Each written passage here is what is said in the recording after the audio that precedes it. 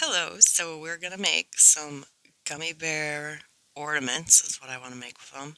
Right here I mixed up my resin off camera. I used Let's resin, epoxy resin, and then I'm using their alcohol inks. Right there I spilled a drop on my mold, so make sure you don't do this over your mold. I'm just doing it because that's where it's recording.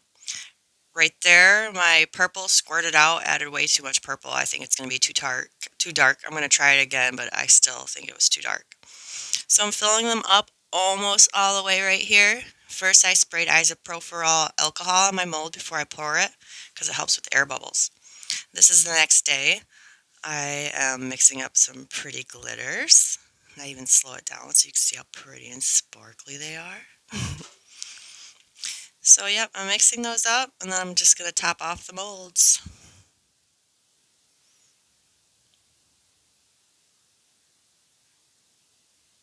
Maybe this part's too long, but it's glitter, so.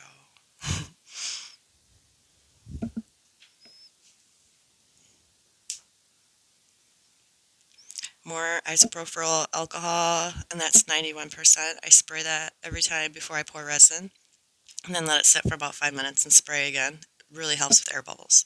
And so does the alcohol ink. So right here I'm just adding some more glitter to the blue ones. I don't think I added enough. It didn't get too far far enough to the edges. And I'm picky and it's just kind of fun to play with it. So that part's pretty much done. Now I'm going to wait the next day to demold.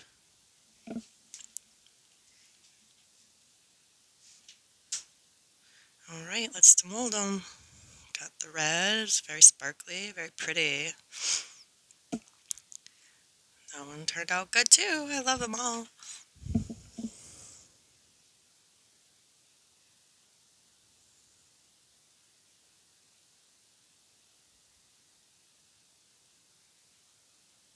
and they stand or sit by themselves, but I plan on making some ornaments and keychains. I use my Dremel and I'll make a hole in their head and attach a jump ring and either a chain or some ornament string or ribbon.